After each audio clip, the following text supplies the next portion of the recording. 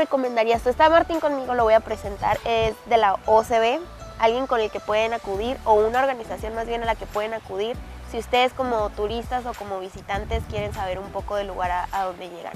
Martín, el recorrido. ¿Nos lo presumiste o nos lo dijiste como recomendación por? Eh, porque yo creo que es la región más completa de todo Sonora, el sur de Sonora, y es el más rico y sobre todo el ecosistema que tiene.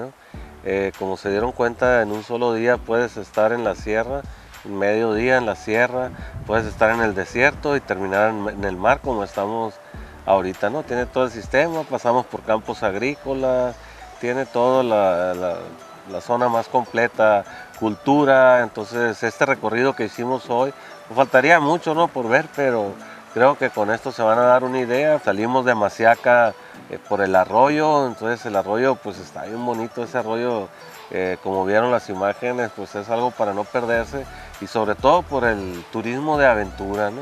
Lo puedes hacer caminando, lo puedes hacer en cuatrimoto, en jeep, eh, como gustes, pero lo puedes hacer y puedes apreciar la riqueza y, la naturaleza, sobre todo el turismo ecológico, aquí se da mucho de aventura. Fuimos a, una de las playas, a las bocas, fuimos a Cirebampo, salimos por ahí. Eh, en Cirebampo pues es la capital del ladrillo sonorense, dicen que hacen el mejor ladrillo de todo el estado de Sonora.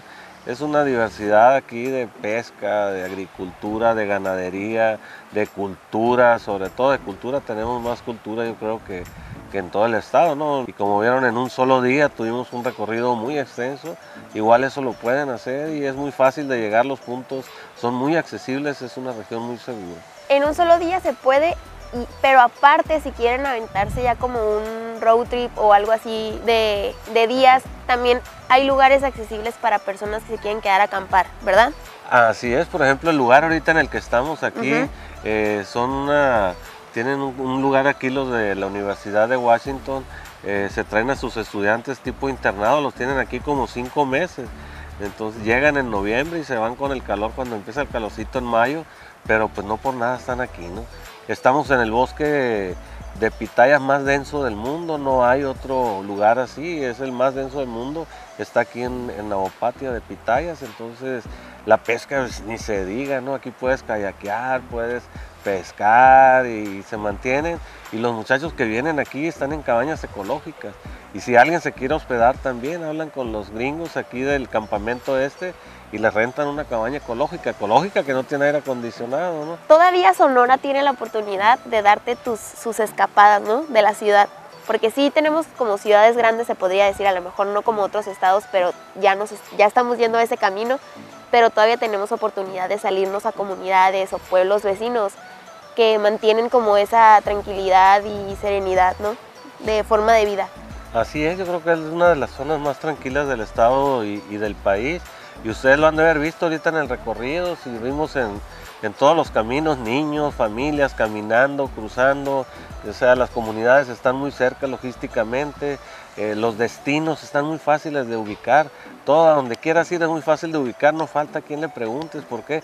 Por lo mismo que comentabas, de que los destinos, hay muchas comunidades aquí, hay mucha población, entonces puedes eh, andar tranquilamente todavía en la noche o andar solos como andábamos ahorita en dos, tres vehículos recorriendo y, ningún problema, ¿no?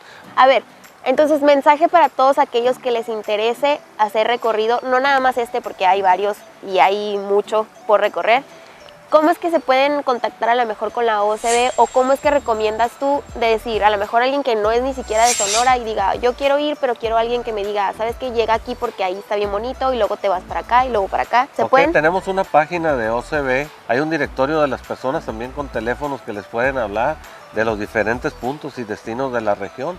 Los pueden contactar para información o para contratarlos o para alguna asesoría, están disponibles. Está el directorio también más o menos de actividades en cada municipio, qué es lo que puedes hacer. Pues muchas gracias. No, muchísimas Ya te hice hablar más de lo que querías. A Santiago y a todos. y pues ve, admiren nomás el brillo que agarra en el atardecer el agua, cómo se refleja, ¿no? Ese plata, no sé. Es algo para vivir una experiencia que vale la pena.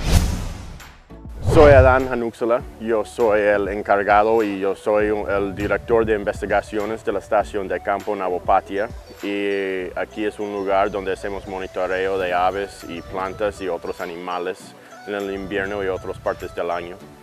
Y si gente quiere venir, solo necesitan una reservación, pueden hacer eso en navopatia.gmail.com y estamos a escala baja, no tenemos campo para mucha gente y es un lugar muy bonito y debe ser un parque nacional. Tenemos más que 12 años monitorando los aves y las plantas y vegetación aquí y con, con, el, con todo lo, el desmontes que han hecho y otras cosas, ahí, ahí está bajando las poblaciones de aves y otros insectos y otros animales.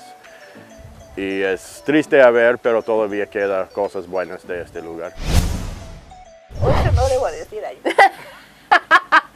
Pero ya lo dijo.